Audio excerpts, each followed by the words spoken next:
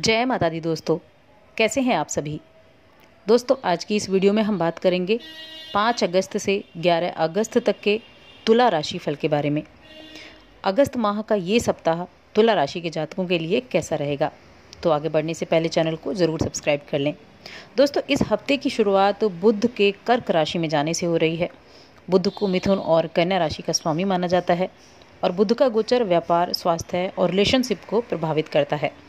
तो चलिए जानते हैं तुला राशि के लिए बुद्ध का यह गोचर और ये सप्ताह कैसा रहने वाला है। दोस्तों, यदि तुला राशि की बात करें तो प्रेम संबंधों के मामले में आपके लिए ये सप्ताह बहुत ही अच्छा रहेगा।